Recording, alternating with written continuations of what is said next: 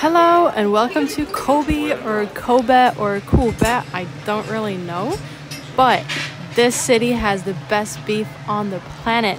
So, of course, on our way from Osaka to Kyoto, we had to make a day trip to try this fantastic meat. And I was super excited and I was so happy when I found this place because usually you would have to make a reservation and wait in a long line. But thankfully, I went before lunch hours and you didn't have to make a reservation, so I got lucky. Anyways, enough about the restaurant, let's get to the meat. Now, look at this meat. It looks delicious. It looked so good, and I was so excited. And I also got all of these like sides. I got some strawberries, some salad, I got some soup, and some rice. And look at that meal.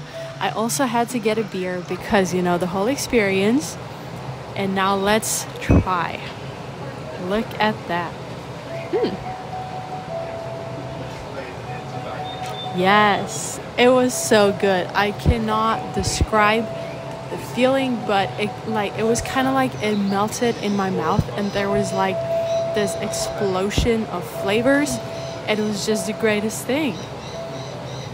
I was so happy. I had a little bit of a happy dance going. Yes, and then we have another angle, another bite, and of course, another little happy dance.